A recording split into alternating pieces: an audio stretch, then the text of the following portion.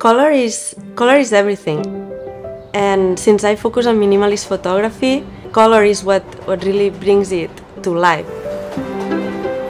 My name is Judit Prat Martí. I'm from Barcelona and I'm a researcher at the University of Stockholm. And I study the universe.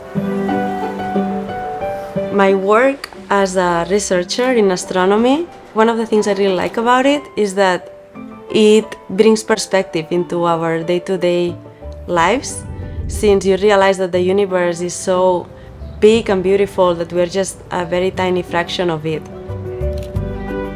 I would love if people get my book and then are inspired to visit Chicago, or for the people who already live here to go to explore different neighborhoods. I think having more color in your life makes it more fun and, and more beautiful.